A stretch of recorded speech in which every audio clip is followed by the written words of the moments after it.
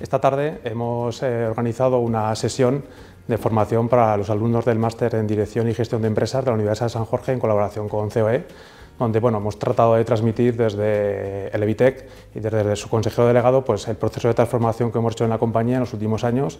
De cara, bueno, pues hemos eh, configurado una compañía que es ahora catalogada como gran empresa, pero que empezó con dos electricistas hace 20 años, nada más y nada menos, y la hemos ido transformando con tres vectores fundamentales, que es la diversificación y el crecimiento, el valor humano y el talento, y la sostenibilidad de la compañía.